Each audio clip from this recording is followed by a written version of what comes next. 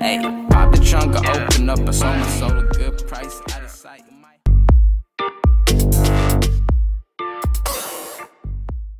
Je prends ma vie en main grâce à l'hypnose et au coaching. Bonjour, j'ai l'honneur d'accueillir aujourd'hui Christophe Médici. Bonjour Christophe. Eh bien, bonjour Shlomi, bonjour à tous les éditeurs d'IDFM que j'aime, et Voilà. bonjour à notre réalisateur Philippe. Voilà, bonjour Philippe également. C'est la deuxième fois que je t'invite ici, euh, Christophe. Et la première fois, c'était comme invité. Aujourd'hui, tu es aussi animateur dans cette radio, donc c'est Grâce tu à toi. invité, voilà. Et euh, donc, tu- on est ici à la maison, en fait. euh, On est, on est en famille. voilà, exactement. Et aujourd'hui, je t'ai invité euh, parce qu'on va parler de coaching, puisque c'est quelque chose que je- dans lequel je me suis lancé maintenant. Je suis devenu coach, euh, comme tu le sais. Félicitations Shlomi d'ailleurs, tu es Merci diplômé beaucoup. et bravo, bravo d'être allé jusqu'au bout de ce cursus formidable. Oui, c'est vrai, c'est formidable et ça, ça n'arrête pas Mm. parce qu'en fait, euh, on est toujours dans la prise de conscience euh, d'aller mieux, de faire des choses mieux. Et puis parfois, on a aussi des, des blocages dans notre vie et on n'arrive pas à faire le mieux qu'on voudrait faire. Et ça euh, va nous faire euh, rebondir sur le sujet de cette émission, le sujet principal de cette émission, qui est le livre que tu as écrit, Notre cerveau saboteur. Libérer son cerveau de son saboteur. sa- ah oui, libérer son cerveau de son saboteur. Ouais, ça. votre cerveau de votre saboteur avec un sous-titre qui est intéressant aussi pour nos amis auditeurs, c'est et réussissez enfin tout ce que vous entreprenez. C'est-à-dire que l'intérêt de, de- de ce saboteur dont on va un petit peu euh, Voilà, c'est ça. détailler les contours pour nos amis auditeurs Ouais. est de aussi pouvoir faire euh, que notre vie vous le disiez avec fort euh, grande justesse, c'est-à-dire par moment on a l'impression de ne pas exploiter 100% de notre potentiel. Et c'est vrai pour énormément de gens, ça. Beaucoup de gens se disent, mais mince, je suis pas à 100% de, tout ce que je suis capable de donner. C'est entre autres lié à ce saboteur. Voilà, donc ce saboteur, euh, d'où il vient? Parce qu'en fait, en fait, on, sait qu'on a, puisqu'on parle du cerveau, on a quatre cerveaux. On a le cortex frontal, d'accord? On a le cerveau gauche, cerveau droit, et puis on a le cerveau de derrière, donc qui nous permet aussi de euh, fonctionner. Donc quel est ce cerveau? Quelle est cette partie de notre cerveau qui euh, nous sabote quelque Alors, part euh, moi, je, je- je- ma formation, moi, c'est psychosociologue. On est d'accord hein Euh, Je sais que vous, vous avez la grille fantastique des neurosciences. Moi, j'ai une grille plus dans la mouvance de la psychologie positive de Martin Seligman, hein, euh, pour qui j'ai une admiration sans borne. Donc, moi, j'ai créé cette euh, subpersonnalité que j'ai intégrée à ma méthode la haute qualité relationnelle. C'est une subpersonnalité, un peu comme l'enfant intérieur. Vous laissez aussi que j'appelle une subpersonnalité. Pour moi, il est évidemment, euh, j'ai une grande ancêtre qui elle avait écrit un livre, qui elle est thérapeute, s'appelle Hélène Aron, qui est une grande dame de la thérapie et de la psychiatrie américaine, qui avait écrit Le bourreau intérieur, Shlomi, hein, Oui. euh, qui est un livre qui parle, puis on parle de euh, qui parle un peu elle aussi à sa manière. Il y a 25 ans de, de bourreau- du, du bourreau, mais enfin qui dit bourreau intérieur dit aussi saboteur. Oui. Sauf que moi j'y ai amené euh, ma vision des choses, mes facettes, mes outils relationnels anti-saboteurs. Et puis je vais vous dire, moi je crois à la vulgarisation intelligente. Je veux que Faïza de la Cité 215, comme n'importe quelle personne qui aura fait aucune étude de psycho, puisse comprendre les outils relationnels, les dans son quotidien, avec sa femme, avec ses enfants, à l'école ou n'importe où. Parce que si c'est pour qu'on soit un groupe de recherche de troisième cycle ou bac plus 250 et dès que tu dis euh, il y a une propédeutique qui sur un plan eschatologique et on a viré tout le monde, excusez-moi, les auditeurs des DFM non seulement vont pas être intéressés, mais en plus moi, je pense que vous êtes d'accord avec moi là-dessus. Oui, J'aime la simplification intelligente. Bien intelligente. sûr, bien Donc sûr. le saboteur, je peux le détailler comme euh, un maelstrom de traumatisme qu'on a vécu dans les premières années de la vie, et puis je parle à un grand thérapeute, donc il sait très bien ce dont je parle, mais nos auditeurs vont comprendre aussi. Évidemment qu'il n'est pas né ex nihilo dans le ciel. On a toutes et tous vécu de grosses blessures. Après, euh, tout le monde n'a pas le même lot, on est bien d'accord. Hein. Mais on a toutes et tous vécu certaines blessures, qui de la part du père, qui de la part de la mère, qui de la part de la fratrie, qui de la part de n'importe quoi, dans les premiers mois et les premières années de notre vie, qui génèrent des programmations dans notre tête qui, elles, sont invalidantes. Voilà. C'est ça. Donc il y a, il y a un, un colocataire, on va dire comme ça. C'est une jolie image. c'est un colocataire dans la tête. C'est le colocataire, celui qui dit, euh, par exemple, lorsque tu veux faire un régime, qui dit, mais allez, vas-y, c'est rien, c'est un petit morceau de gâteau que tu peux prendre, c'est pas, c'est pas grave, ça fait rien, et puis après, euh, hop, et puis on enchaîne sur euh, la totalité du gâteau, quoi. D'accord Et parfois, le colocataire ne peut pas le loyer. voilà, il ne paye pas le loyer en plus. Donc c'est un mauvais colocataire. Alors ça m'intéresse parce que bon, évidemment, moi j'ai un, un- un background euh, talmudique qui aussi parle de ça. On parle de ça en termes du mauvais penchant, c'est-à-dire le penchant. On, est- on est- on a deux penchants. On a un penchant qui veut nous faire aller vers le bien et un penchant qui veut nous faire aller vers le mal. Et on parle aussi de deux cœurs. Le Talmud parle de deux cœurs. Donc il y a un cœur qui va vers le bien et un cœur qui veut aller vers le mal. Mais Et dans le Talmud, ça c'est Ah expliqué. oui, bien sûr. Ça m'intéresse énormément parce que... que- moi je fais une articulation dans ma prochaine conférence Oui. entre la chance et la méchanceté. Oui. Et donc les histoires des deux cœurs et des deux côtés là me parlent beaucoup parce que ça vous ça vous a pas échappé et comme nos éditeurs que dans méchanceté il y a chance. Oui. Ça vous a pas échappé non plus qu'on a toutes et tous peu ou prou un capital chance, mais qu'il y a des gens qui se considèrent malchanceux, des gens qui se considèrent ni trop chanceux ni trop malchanceux, et puis d'autres qui se considèrent comme très chanceux. Bon. Vous connaissez Richard Wiseman, hein, qui a fondé l'école de la chance à Londres. Et Richard Wiseman, chers amis auditeurs, a fait quelque chose d'extraordinaire. C'est qu'il y a une vingtaine d'années, quand il a fondé son école, il a fait une étude auprès de à peu près 10 000 personnes. Et il leur a demandé d'ailleurs, bon, euh, vous considérez-vous comme chanceux, peu ou prou ni chanceux ni malchanceux, ou très chanceux? Et il s'est rendu compte que c'est pas une histoire de bonne étoile. On n'est pas né quelque part pour être très chanceux ou malchanceux. C'est les chanceux, suite aux entretiens, ces trois familles-là existent bien, font quatre choses très simples et très chanceux que tout le monde peut faire, chers amis que les malchanceux ne font jamais. Par exemple, je vous dis juste la première, on pourrait détailler les quatre. Les chanceux tirent le maximum de profit des occasions fortuites. Par ça. exemple, concrètement, ils sont à une soirée, ils vont parler aux gens. Ils sont à la queue d'un magasin, euh, à de boulanger, ils vont parler à quelqu'un. Et ils démultiplient comme ça leur chance de euh, voilà euh, réseau. créer un réseau, avoir une nouvelle voiture ou n'importe quoi. Les malchanceux jamais, jamais. Et ce qui m'intéresse dans la méchanceté, c'est que ça vient de l'ancien français méchéance, Shlomi, qui veut dire mauvaise chance. Oui. Et on dit que euh, les méchants, donc, quelque part, réussissent par faire certaines choses. Vous avez une admiration sans borne pour Woody Allen comme moi. Et Woody Allen disait, je livre la Pas sans borne, pas Mais sans moi, non. Il y a, tout n'est pas, tout, tout n'est pas à garder dans la vie de Woody Allen, on est bien d'accord. Cela ne nous regarde pas.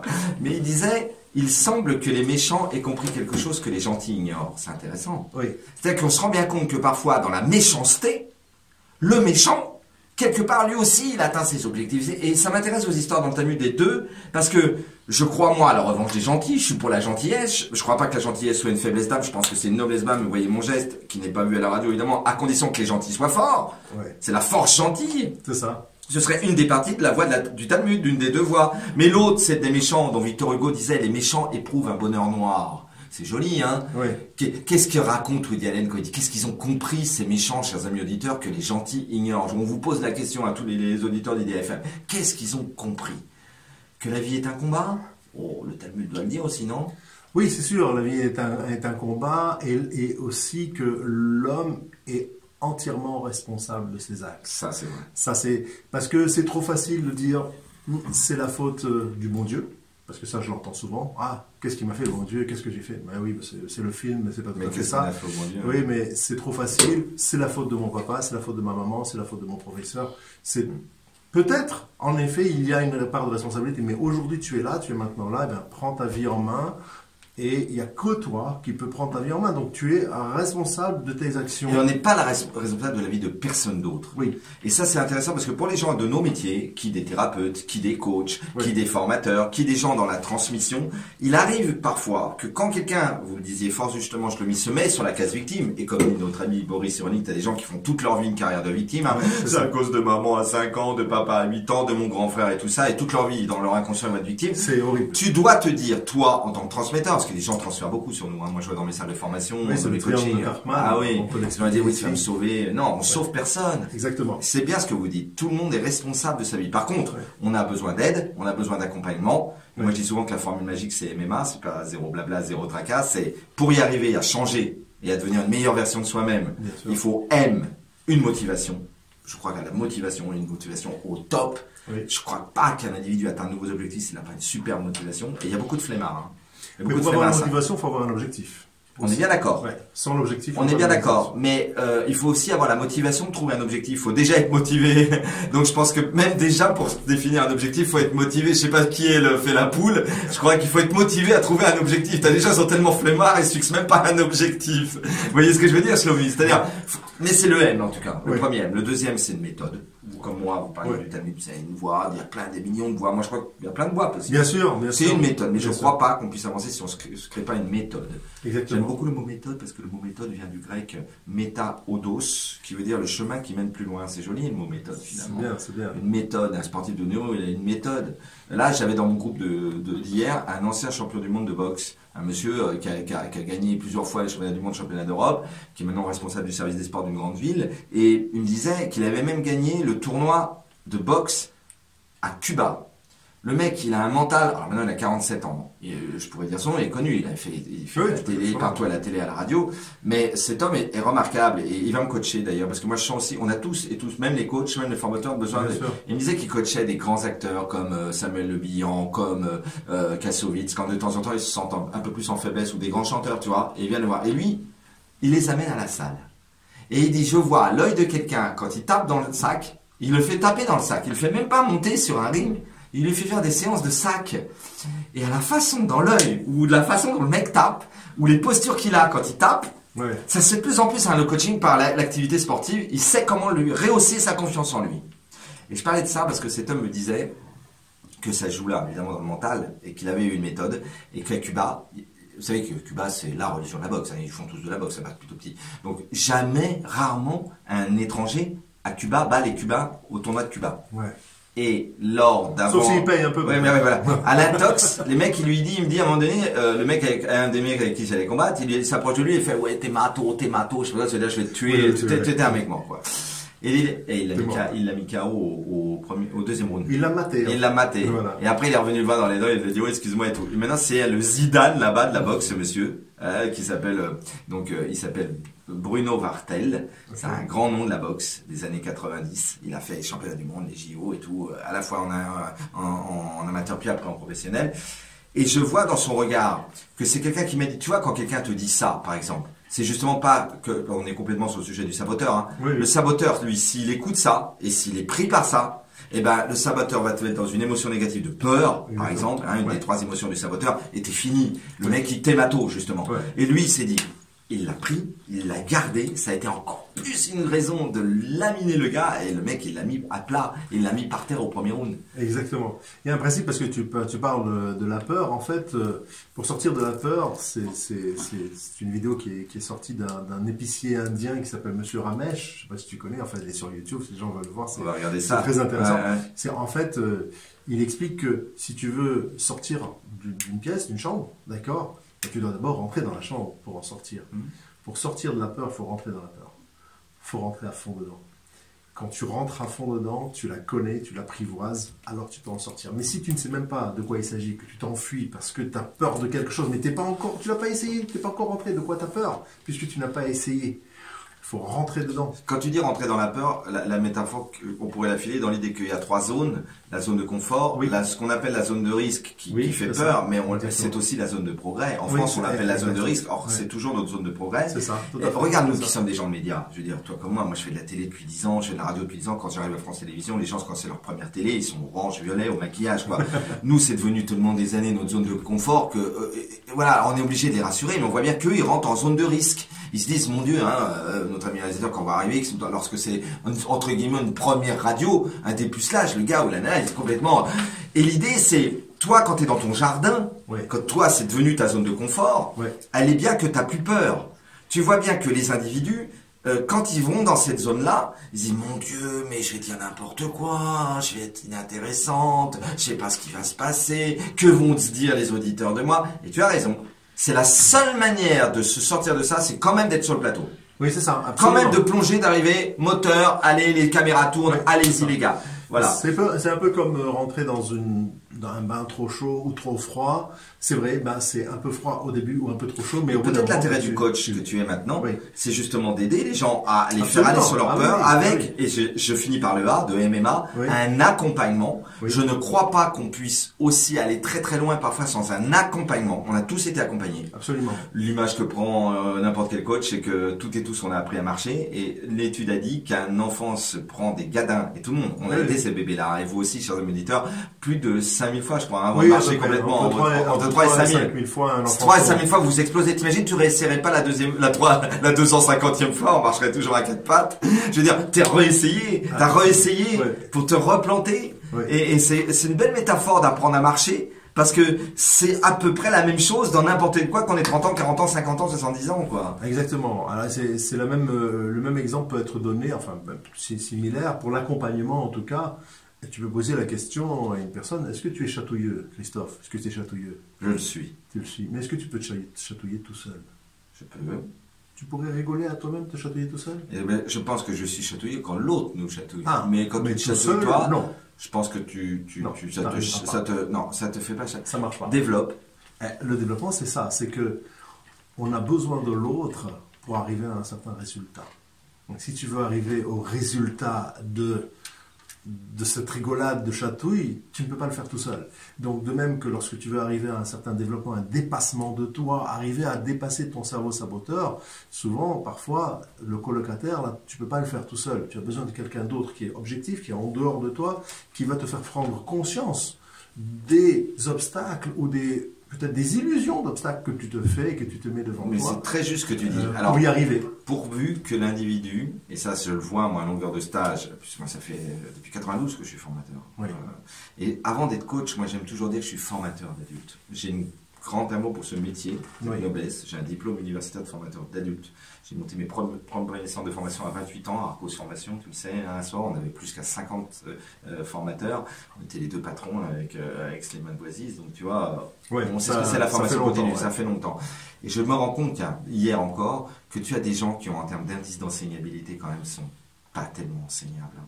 C'est-à-dire que on a beau dire ce qu'on veut, on a beau être le meilleur accompagnateur de la Terre, c'est pas toi, tu l'as dit tout à l'heure, c'est pas toi qui change, c'est l'autre qui change. Mais pour qu'une personne, et on le dit à nos éméditeurs, l'indice d'enseignabilité qui est très peu connu en France, mais très connu aux States et au Québec, c'est que, en fait, tout en bas, tu as les gens qu'on appelle les inconsciemment incompétents. Oui. Et comment on les reconnaît? Ou ils disent je sais, ou, euh, ou ils méprisent, tout ça c'est des conneries, ce truc de gonzesse, parle-moi sérieux, parle-moi politique, finance, compta, truc de sciences humaines, là, laisse tomber. Ou alors ça les indiffère complètement, c'est bien, mais laisse-moi regarder le PSG, s'il te plaît, tu vois. Donc voilà, les inconsciemment incompétents, ils peuvent avoir le meilleur coach de la Terre, ils peuvent avoir le meilleur thérapeute de la Terre, ils sont quasiment inenseignables. Mais parce qu'en fait, euh, ils ne se rendent même pas compte. Eh, moi j'en ai une dans mon groupe là. Ouais. Et en plus, elle dominante basse qualité relationnelle, mais c'est une horreur. Et puis c'est l'image de la tomate pourrie dans un panier. hein. Elle te pollue tout le, tout le panier.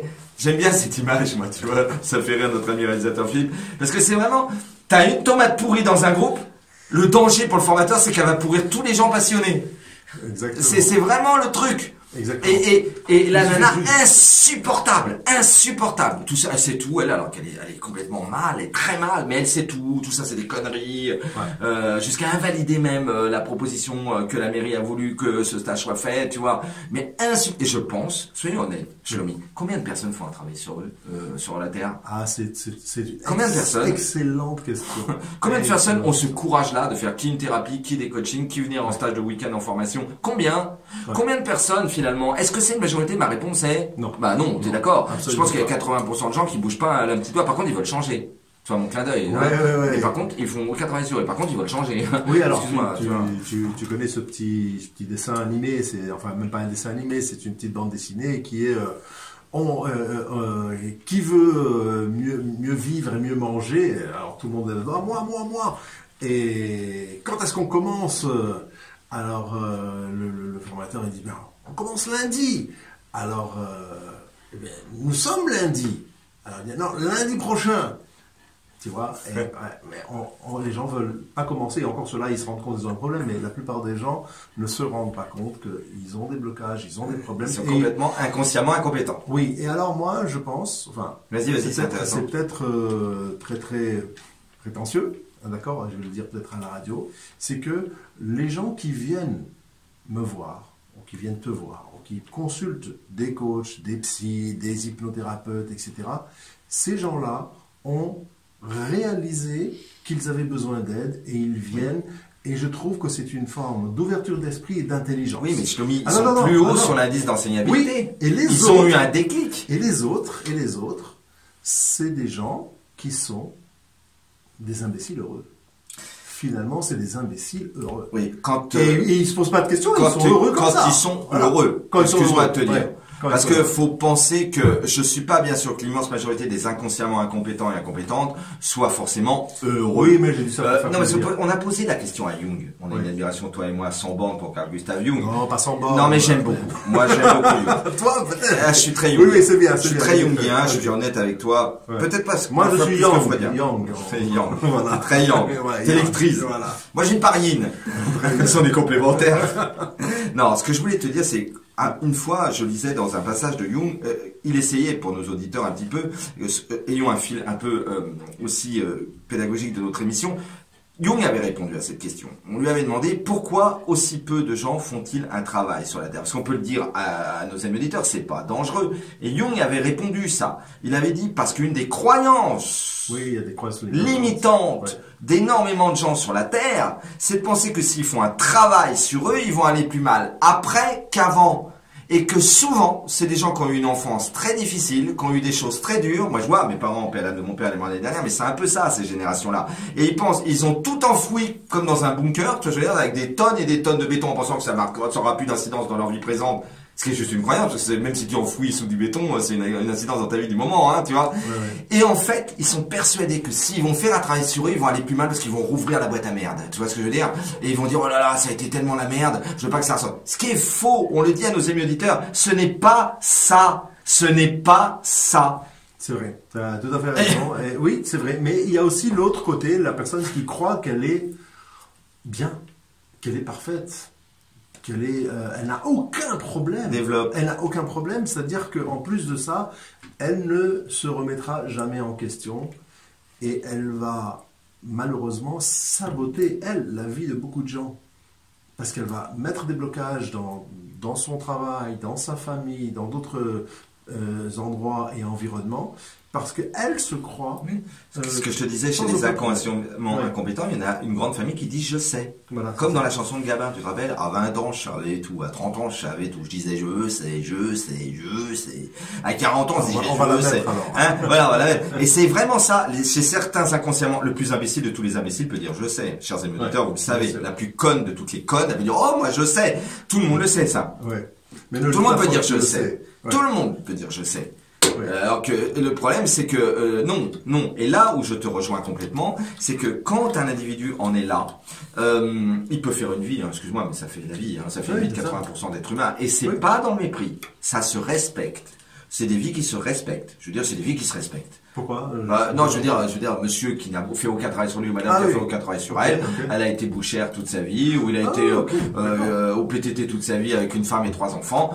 C'est des vies qui se respectent. Absolument. Euh, c'est des vies qui se respectent. On Oui. est d'accord. euh, nous, on est- là pour respecter tout le monde. Oui, oui. On, pour autant, on- nous, on pense que c'est dommage parce que, comme tu l'as dit, certains font des dégâts Des et sur eux-mêmes et sur les autres. Absolument. Et c'est là que là le problème. C'est là le problème. C'est là le problème. C'est là le problème. C'est-à-dire que quand Ah tu fais des dégâts pour détruire un couple, détruire une famille, euh, pas savoir éduquer tes enfants, faire n'importe quoi avec tes amis, te loser complètement ta vie professionnelle, t'aurais pu gagner euh, 25 000 euros, tu restes à 1005 toute ta vie, sans savoir. Et là, toi et moi, on est passionnés par les neurosciences. Beaucoup de gens se croient libres. Or, ils n'ont pas compris qu'on est sous des programmations. Et Bien toi, tu pourrais développer, je vais te demander de le faire, Oui. à cause de ce qui s'est passé dans les premiers mois et les premières années de la vie. Il est là, mon livre sur le saboteur. Mon livre sur le saboteur est un des livres les plus achetés euh, ces six derniers mois. On est déjà à plus de 20 000 ventes. Libérez votre cerveau de votre saboteur parce que les gens me disent il y a des outils relationnels anti-saboteurs à longueur de page. Et très simple. Alors, chers amis auditeurs, si vous le voulez, je fais à nouveau mon émission aussi la semaine prochaine. Et toi, dans toi, on pourra en offrir un à un auditeur qui appellera à la radio. Hein. On offrira un mon livre chez Dang, Libérez votre cerveau de son saboteur. Parce que vous avez toutes et tous un saboteur. Que vous le sachiez ou non. C'est celui qui vous empêche de vivre la vie de vos rêves. Tu connais comme moi le coaching américain. 5% des gens seulement vivent la vie de leurs rêves. Ouais. 95% des gens ont des vies, mais c'est pas exactement. euh, tu la voyais pas comme ça ta vie? Tu la voyais pas comme ça, frérot. Hein, c'est pas toi qui es. C'est pas toi qui. C'est la vérité. C'est vrai. C'est la vérité. Euh, pense à tes rêves de jeunesse.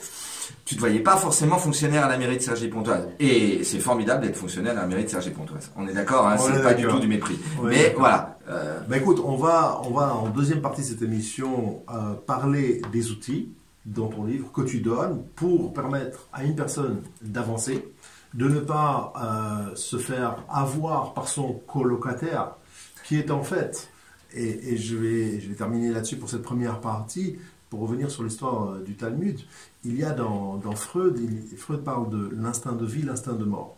D'accord? On a tous, les, tous un instinct de vie, de survie, toujours vivre.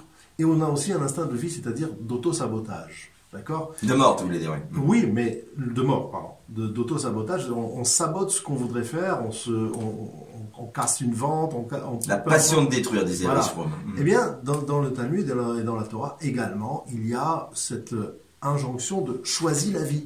Il est marqué, voilà, je donne ici devant toi la vie et la mort, choisis la vie. Pourquoi on te demande de choisir la vie? On t'oblige à choisir la vie parce que justement, tu as l'instinct de choisir la mort, de choisir l'autre partie. Et donc, on te donne l'injonction, le commandement, attention, va choisir la vie. Ce que tu veux dire qu'il y aurait plutôt une propension, Ah oui. une pente naturelle à aller de l'autre côté dans un Oui, premier temps. absolument, absolument. Parce que en fait, on parle qu'un enfant, jusqu'à l'âge de 13 ans, l'âge de 13 ans qui est l'âge de la maturité, de la bar mitzvah, eh bien, il est sous son emprise de son saboteur, du mauvais penchant. Parce qu'il est encore, l'enfant, il est égoïste, il veut que prendre, prendre, prendre.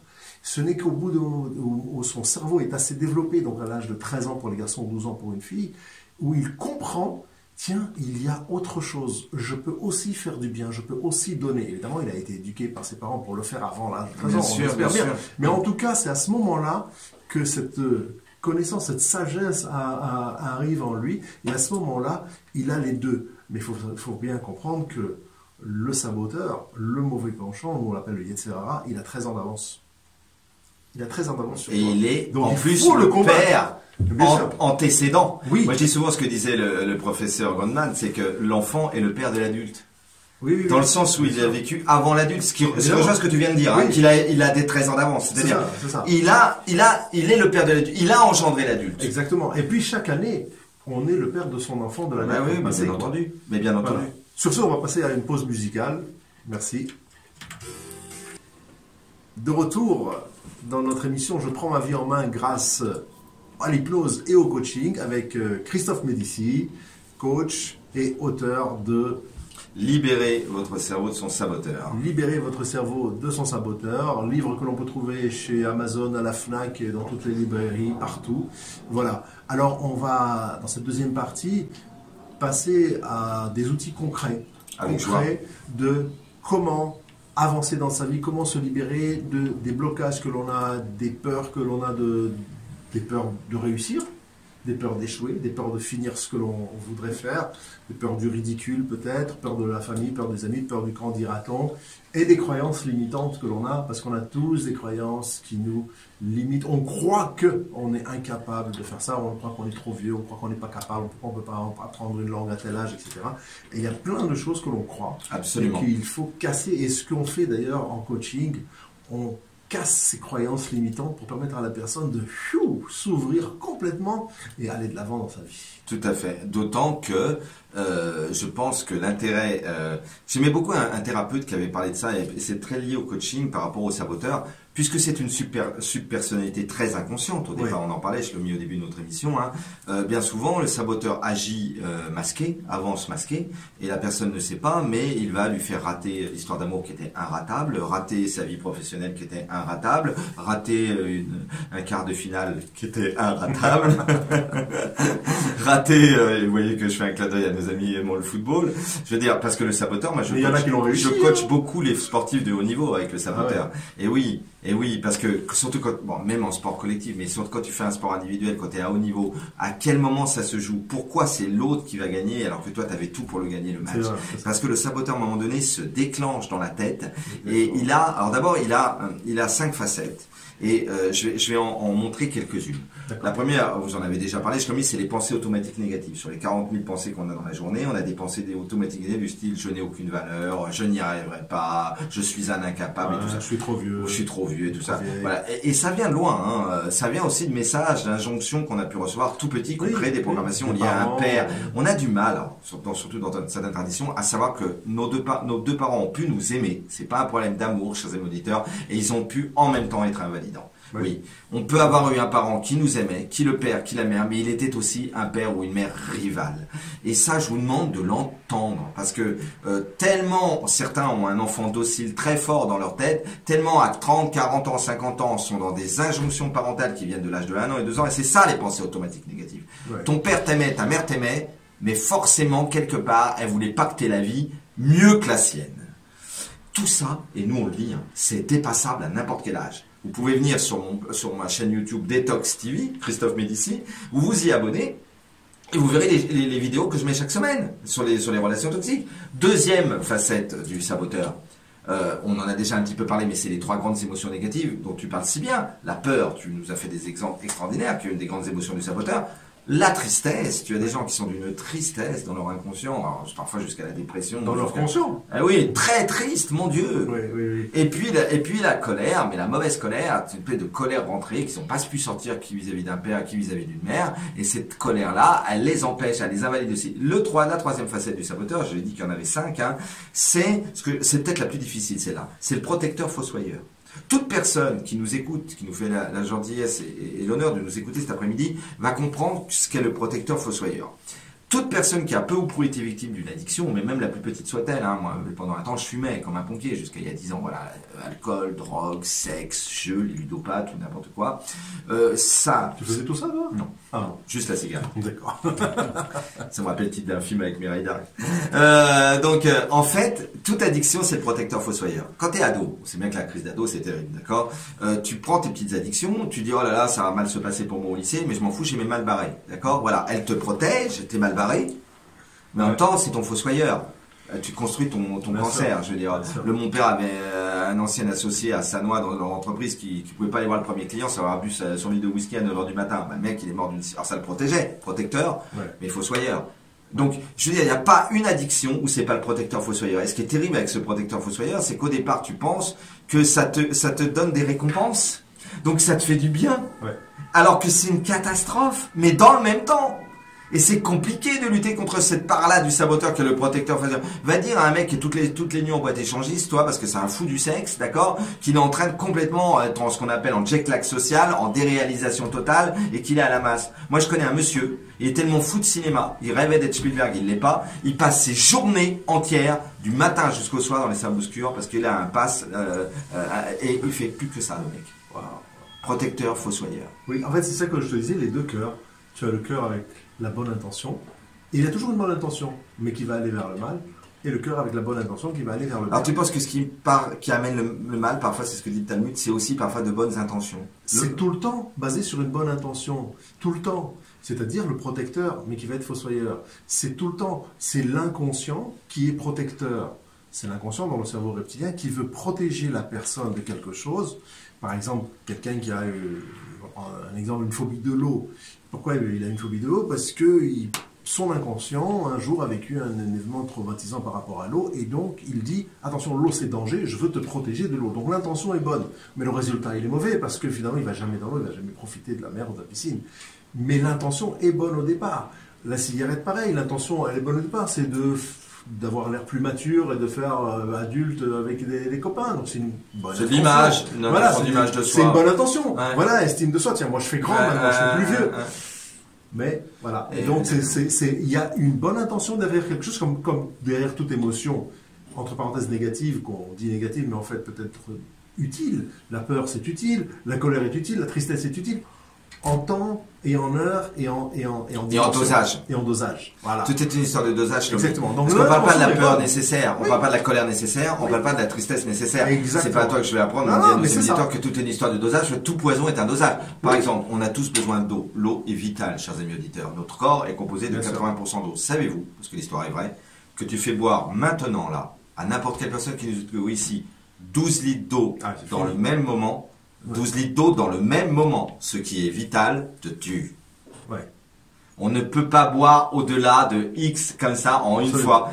Et c'est une torture, on le sait. Ouais. On te fait, et met à mort. Oui, oui, on te fait boire 12 litres d'eau. Donc c'est bien une histoire. Le, le poison est une histoire de, et l'histoire de Mithridate dans la Grèce antique est superbe, puisque Mithridate, qui était un, un empereur qui avait peur d'être, parce que là-bas il les assassinait au, au cyanure et à n'importe quel poison, que faisait Mithridate? Il prenait des toutes petites doses de chacun des poisons dans la journée. Parce que si un jour, ils veulent me tuer avec les poisons, j'en aurais pris assez pour avoir construit des antidotes, n'est-ce pas, du Ouais. corps. C'est incroyable. C'est exactement ça. On appelle ça la mitridatisation de l'individu, hein, depuis l'affaire. Et, puis, et, puis, et puis, et puis Racine a fait euh, une super tragédie, tragédie qui s'appelle Mithridate. Ouais. Non, c'est c'est une histoire de dosage aussi. D'ailleurs, on parle du toi tu es thérapeute et coach, moi je suis coach, psychosociologue. On parle souvent, et on va dire à nos amis auditeurs, quelle est la frontière entre le normal et le pathologique C'est quand même une vraie question pour toi qui reçois des gens qui se sentent pas bien, pour moi qui, fait des formations pour améliorer la qualité de vie au travail, la qualité de vie dans le couple, éviter le burn-out. C'est toujours une frontière un peu comme les examens de sang. Je veux dire, notre ami Edgar Morin, qui a été mon prof à la Sorbonne quand je faisais mon doctorat de psychosociologie, il disait toujours, l'être humain, il est homo sapiens, des minces, et tant mieux, il n'est pas que sapiens, sapiens, il y a du démince dans l'humain. Et heureusement alors explique un peu le démince. Ben, c'est la folie. sapiens, la raison, démince, la folie. Je veux dire, euh, évidemment, et, Montaigne déjà, parce que tu dis que le Tamis disait de belles choses, les grands Français aussi disaient de bonnes choses, Montaigne disait, il faut une folie douce. Il avait déjà compris ce que les, psychosociologues et les thérapeutes du XXe siècle allaient dire, les grands sociologues. L'individu, mon maître le disait toujours, euh, Edgar Morin, et chers amis auditeurs, vous avez beaucoup lu certainement des grands livres d'Edgar Morin, toi aussi, hein, des chefs-d'œuvre. On est homo sapiens démince. Excuse-moi, mais il n'y aurait pas de grands artistes, de grands chanteurs, de grands musiciens, de grands peintres, de grands, s'il n'y avait pas du démince chez l'humain. Créer, c'est penser à côté, disait Bachelard. Je ne connais pas un créateur qui ne pense pas à côté. Si tu prends les autoroutes, tu es fonctionnaire au ministère de Bercy. Hein, voilà, euh, c'est tout.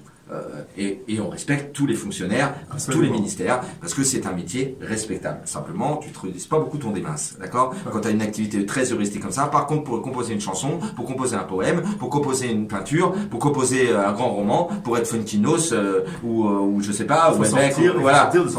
Créer, c'est penser à côté. J'adore cette phrase de Bachar que j'avais apprise à Normal Sup, hein, parce que avant de faire de la psycho, tu sais que j'avais fait histoire. Oui, bien sûr, je connais Voilà, tu connais par cœur. Donc j'avais un peu, et moi j'aime bien ça, parce qu'on est très branché sur l'Amérique et les États-Unis, j'aime bien, moi, pouvoir dire qu'on peut amener dans nos métiers de coach, de thérapeute, le fait qu'on est quand même dans un pays qui s'appelle la France. J'en ai marre du French bashing, toi aussi, je le sais, qui a amené de grands auteurs.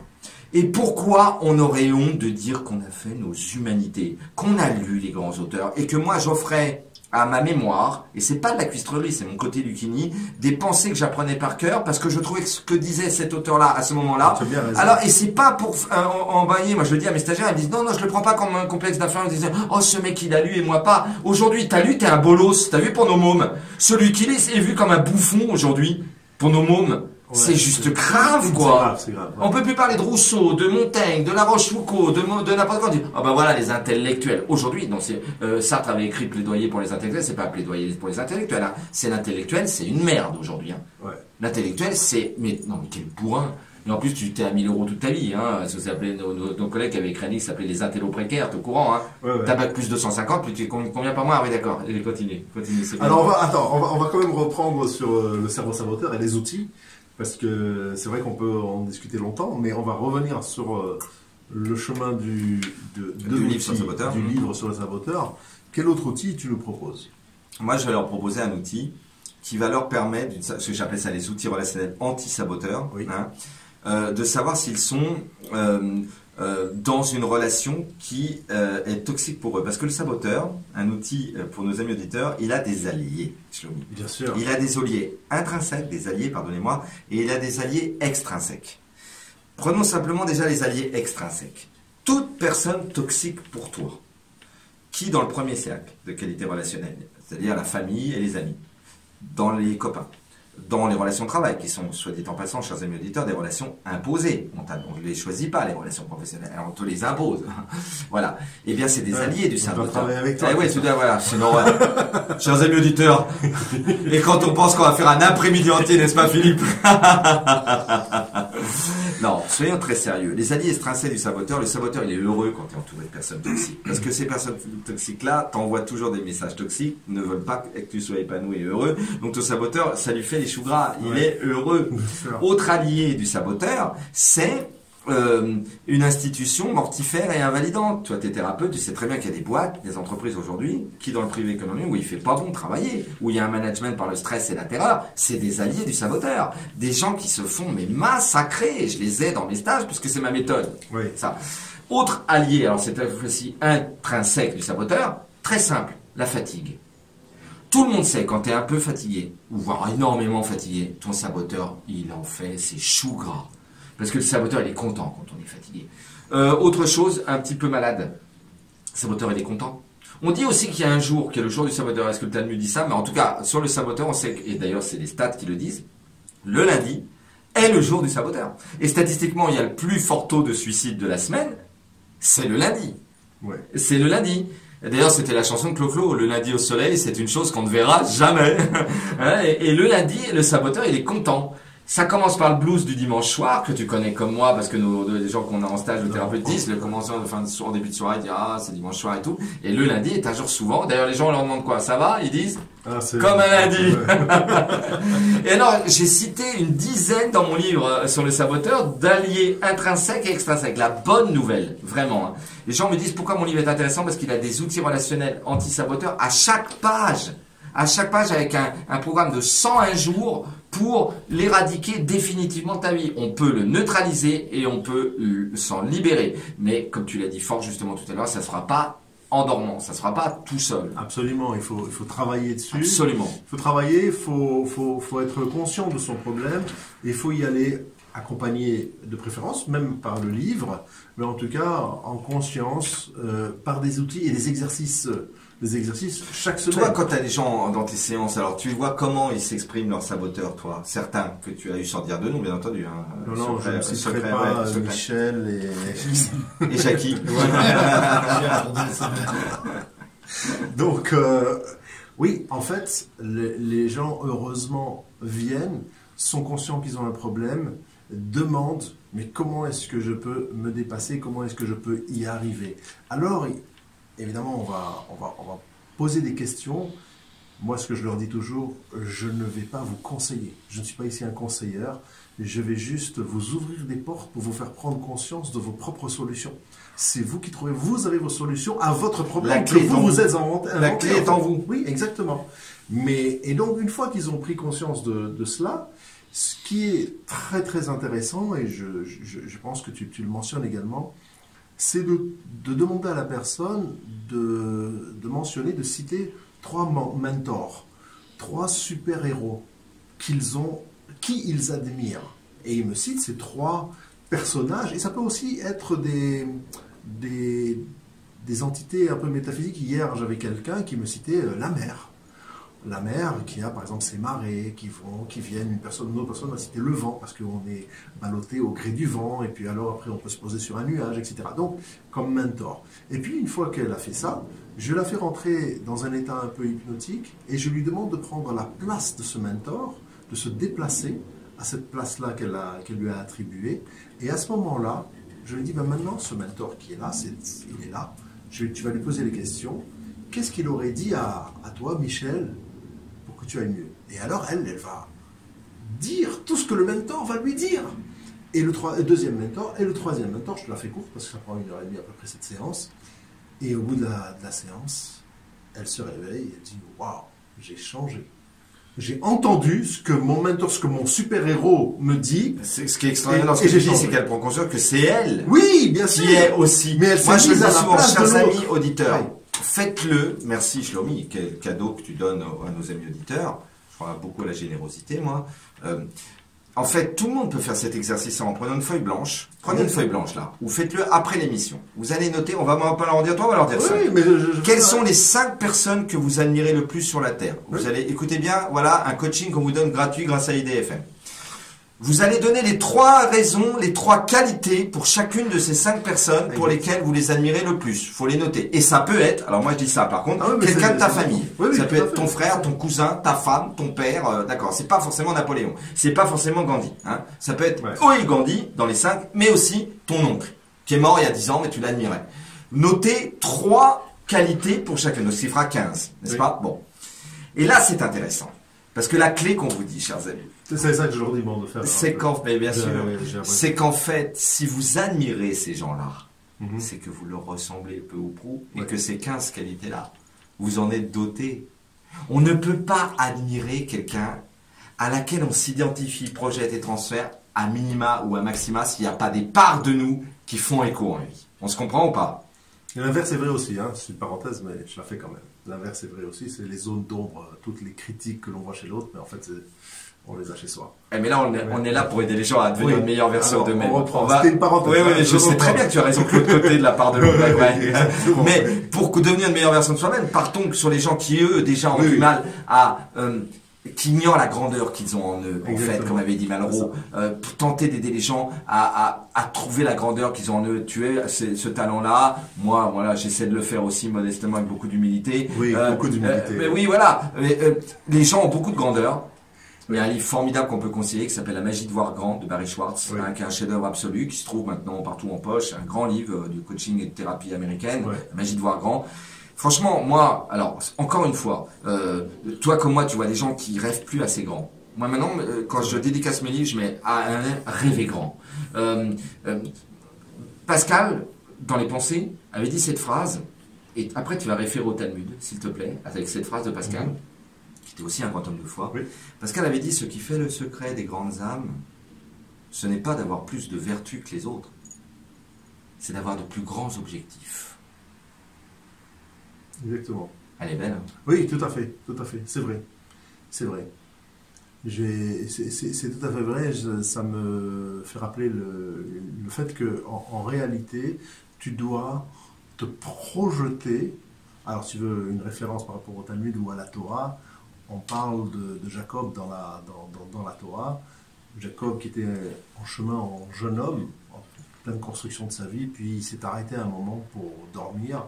Et là, il a fait un rêve. Le rêve de Jacob avec l'échelle, c'est un- une image très connue. Donc il rêve, il y a une échelle qui monte, qui, est plantée par terre et qui monte jusqu'au ciel. Et là, il y a des anges qui montent et qui descendent de cette échelle. Et donc, euh, le- les commentateurs posent la question, ils disent, mais pourquoi est-ce que ces, gens, ces anges montent et descendent? Normalement, ils devraient descendre et monter, puisqu'ils sont, les anges, on les imagine qu'ils sont au ciel, et ils devraient descendre et monter.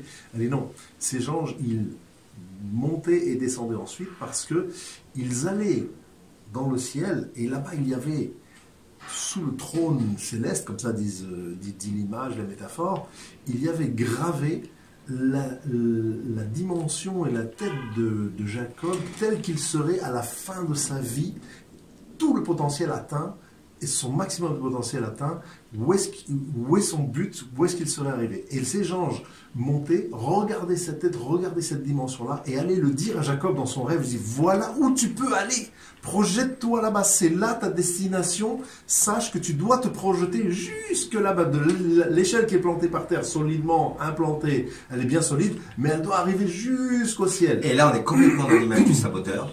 C'est-à-dire que entre le potentiel de rêver grand Oui. et de transformer ce rêve en Et devenant de le monter l'échelle. et de monter l'échelle, le saboteur, lui, exactement. il non seulement il te fait pas voir le bout de l'échelle, Oui. et puis il te fait te dire, euh, comme dirait euh, Idriss Aberkan, euh, il y a une part dans le cerveau euh, néo-cortex qui dit n'essaie même pas, n'essaie même pas, n'essaie ça, même pas, n'essaie même pas, t'en es incapable, t'y arriveras pas et tout. Ouais, c'est le, cerveau, plein- c'est le cerveau plein et les Eh oreilles. ouais. et les oreilles euh, Mais d'où ça vient. Ça vient bien d'injonctions qui viennent de loin, hein, qui viennent de l'enfance. Hein. Oui, alors pour reprendre ton, idée du mentor, Oui, si oui. je te laisse Ah reprendre non, ça. mais je trouve que si les gens font cet Ah exercice-là, ça. D'abord, ils comprendront, ils trouveront 15 qualités qu'ils ne savaient pas forcément qu'étaient les leurs, puisqu'ils pensaient que c'était euh, Gandhi, Gandhi qui les avait, un tel qui les avait. Après, prenons la métaphore du cerveau comme un jardin que l'on doit cultiver. Soit tu arroses les mauvaises plantes, les mauvaises herbes, et puis après ton jardin il est tout noir, et puis c'est que des mauvaises herbes. Soit, ben, vous voyez ces 15 petites fleurs qui sont somptueuses, que vous avez en vous, si elles font 2 mm, si vous les arrosez tous les jours par des travaux, et il y a des exercices thérapeutiques et coaching pour ça, Oui, deviendront un jardin extraordinaire et là vous deviendrez la grande personne que vous êtes, le grand bonhomme que vous êtes, ça. la grande dame que vous êtes. C'est ça qui est intéressant. C'est le saboteur, il doit avoir un pendant, et le Talmud, tu le dis dans le Talmud, qui est le bienfaiteur. Il y a une part en toi Exactement. qui t'aime, qui a un amour inconditionnel pour toi. Et pour devenir une meilleure version de soi-même, je crois que c'est pas dans le mauvais sens du terme. On nous a eu sur l'ego. Hein. C'est euh, c'est pas un problème. C'est s'aimer. Vous devez vous aimer. Mais vous aimez. Mais vous aimez. Vous ne vous aimez pas assez et assez bien. C'est exactement ça. Aimez-vous Et c'est pas de dire qu'il se la pète, c'est pas de mauvais ego. C'est que moi j'ai été tapé, j'ai été martyrisé, je me suis fait cogner contre les murs, j'ai eu des invalidations toute mon enfance, on m'a dit t'as rien compris, tu comprendras jamais rien. Faut dire que des gens comme nous qui faisons nos métiers comme ça, on les fait pas impunément, et que si on est devenu ça, on n'était pas comme ça à 4 ans, 5 ans, 6 ans. C'est que tout, vous pouvez tout transformer en lumière, vous pouvez tout faire. D'ailleurs, tu sais comme moi que quand on parle des stars, et on, va développer là-dessus, parce que dans mon livre sur le saboteur, il y a saboteur et vie de star. Les gens voient la star comme étant que dans la lumière et tout ça, mais pas du tout. La star, il y a huit traits cliniques. Toutes les stars ont vécu des enfances abominables. Que ce soit Charlie Chaplin, euh, Marilyn Monroe, un chanteur, mais même un acteur aujourd'hui, ils ont eu ou un parent euh, toxique, un parent mort, un parent alcoolique, ils ont été tabassés. Et il y a huit traits cliniques qui te montrent pourquoi une personne veut devenir une star. Tu ne veux pas être aimé par le monde entier, c'est pas, t'as pas eu de blessure narcissique monumentale dans les six premières années de ta vie. T'as pas besoin d'être sur scène si t'as pas eu de blessure narcissique. T'en as pas besoin. Mais faut le dire aux gens. Absolument. Après, on se comprend pas pourquoi des stars. euh, Il y a la phrase magnifique de Madame de Staël, la gloire et le deuil éclatant du bonheur. Non, il y a plein de stars qui sont pas heureuses. hein. Il y a plein de stars qui se suicident à 27 ans, pas vrai? Il y a des qui se défenescent comme euh, l'ancien chanteur. Donc, on s'étonne après. Mais alors, c'est une star. Croyez-vous que euh, heureux Depardieu pour soit ça, toujours heureux? Non, mais arrêtez. Donc, non, il y a huit traits cliniques qui font que le saboteur est aussi dans la tête de la star.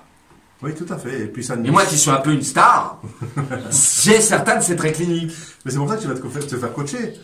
Par Monsieur Shlomi Lévy. Non, Et où est-ce qu'on peut trouver, toi, maintenant, euh, maintenant que tu es un grand coach, il y a un endroit où on Alors, peut je- te- pas- sur Internet, en train de créer un blog. des coachs, mais Ouais. voilà. Donc euh, sur Internet, euh, sur mon site web lavhypnose.xyz. Là, tu peux, les gens peuvent te venir Bien te sûr, voir, ouais, ouais. euh, sur Doctolib, exactement. Et puis il y a mon numéro de téléphone, il y a mon email. On peut me trouver. Je Ouais, parce que ça doit être passionnant de faire des séances de coaching avec toi. oui, hein, c'est intéressant. C'est, voilà, c'est bien. On- on- en tout cas, on travaille, euh, on travaille pour avancer. On travaille pour avancer. Et je te remercie parce que cette, cette émission-là a été passionnante. Ah, c'est toujours passionnant de, nos, nos conversations et j'espère qu'elles Voilà, intéressent nos auditeurs. Absolument. Parce que moi j'aime beaucoup, tu as cette propension et c'est pour ça que je suis persuadé que tu es un grand coach, parce que tu as une très bonne écoute. Merci. Et euh, comme disait Claudel, parler est un besoin, écouter un talent. Beaucoup de gens ne l'ont pas. Euh, et euh, je pense qu'on ne peut pas être un bon coach et un bon animateur et un bon formateur si on n'écoute pas. Et paradoxalement, même si je suis un promouvant, donc un jaune, j'écoute comme un jaune, j'écoute pas comme un vert, mais j'ai une très grande écoute aussi. Mais une écoute de jaune, J'ai compris. une écoute de promouvant, euh, qui est une autre, un autre type d'écoute. Mais je, comme disent mes stagiaires, elle dit, toi tu laisses jamais quelqu'un sur la route. Quel que soit le niveau de la personne, tu vas la prendre. Ou d'où elle vient, même si elle a fait zéro stage, tu vois ce que je veux dire, zéro thérapie. Elle fera partie du groupe. Je la laisse pas. Tu vois, et je pense que tu es capable de faire ça, de pouvoir la personne, tu la coaches là où elle en est. C'est ça. Et puis, comme tu parles de l'écoute, c'est important. On va terminer par cette phrase talmudique qui dit que la, euh, le silence, plus que le silence, mais le fait de se taire, est une, est une, une protection de la sagesse. C'est-à-dire que lorsque tu veux véritablement asseoir la sagesse, il faut aussi savoir se taire. Parce que ta parole est précieuse il faut le savoir la- l'amener à bon escient, écouter à bon escient et parler à bon escient. Et comme tu parles d'un mot de spiritualité, c'est magnifique. Parce qu'il faut- il faut parler de l'inspiration. spiritualité. En conclusion, je dirais que j'avais mis en exact sur mon livre sur le saboteur cette phrase de Saint François d'Assise, pour qui j'ai une admiration sans borne. Faites attention à votre mode de pensée et à Absolument. votre façon d'exprimer, parce qu'ils peuvent bien devenir la destinée de ta vie. Donc changez vos pensées, changez vos mots, Parce que toute pensée est créatrice Eh oui. de ta réalité. de votre champ électromagnétique. Voilà, très bien. Merci Shlomi. Merci beaucoup Christophe euh, d'avoir euh, été mon invité aujourd'hui. Merci Philippe à la Merci, technique. Et puis on vous retrouve tous les deuxième et quatrième mercredis de chaque mois. Et moi le troisième. À 15 heures. Et toi le troisième, voilà. C'est très bien. Et puis également, toutes ces émissions sont sur ma chaîne YouTube, Lève Hypnose. Très bonne chaîne. Voilà, et vous avez euh, toutes ces émissions. Merci beaucoup et à bientôt.